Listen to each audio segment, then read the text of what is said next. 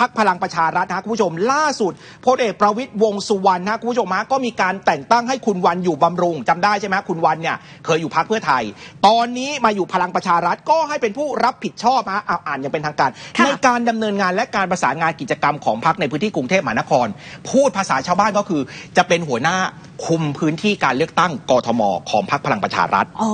นะฮะซึ่งก่อนหนานี้คุณสกลทีพัทยากุลเคยได้รับผิดชอบอยู่แต่ว่าลาออกจากพักไปแล้วค่ะแต่คุณผู้ชมฮะล่าสุด เหมือนกับว่าพอบิ๊กป้อมรู้ว่าตัวเองโดนเทจากพักเพื่อไทย 29 ฮะ สิงหาคมนี้พรุ่งนี้ฮะจะมีการประชุมพักอืมมีรายงานว่าบิ๊กป้อมเตรียมไม้เด็ดที่จะจัดการกับพักเพื่อไทยฮะคุณผู้ชมฮะซึ่งถามว่าไม้เด็ดที่เคยทำนั้น ไม้เด็ดขนาดไหนก็มีคนบอกไงฮะคุณผู้ชมว่าน่าจะเป็นส่วนหนึ่งของ 40 สว ที่ไปยื่นถอดถอนคุณเศรษฐาทวีสินตั้ง คุณพิชิตชินบานเป็นรัฐมนตรีประจำสำนักนายกไงฮะหรอคะพี่ตัวยเออจะเด็ดขนาดนั้นเลยเหรอ ก็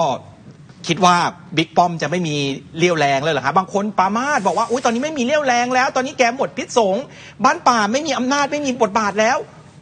เราเชื่อแบบนั้นไหมล่ะ อันก็นี้ไม่รู้จริงก็โค่นคุณเศรษฐาได้แล้วกันน่ะ คนบอกแบบเนี้ยๆเออดังนั้นรอฮะคุณผู้ชมฮะ แต่แน่นอนเพื่อไทยกับประชาธิปัตย์ค่ะโอ้ยุคนี้มารวมกันได้ฮะ บอกแล้วฮะ การเมืองยุคนี้อะไรก็เกิดขึ้นได้แล้วนะฮะ อันนี้ Amazing สุด ๆ เลยค่ะพี่ตัวยค่ะ